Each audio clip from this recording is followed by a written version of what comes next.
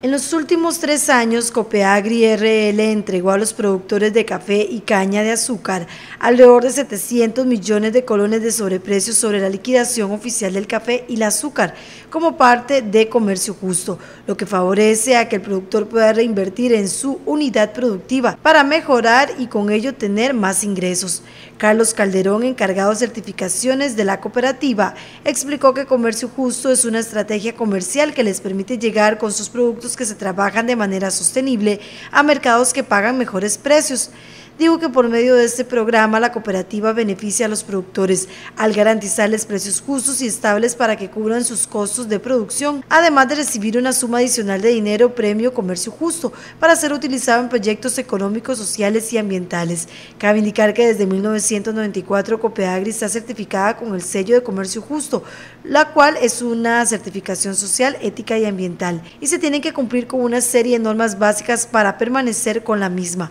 Para ello, la empresa empresa realiza una auditoría a la cooperativa y los cultivos de sus asociados para comprobar que se cumplen con todos los requisitos. Comercio Justo requiere que la producción sea amigable con el ambiente al prohibir productos químicos que son altamente contaminantes para el agua, suelo, aire y para la salud del productor.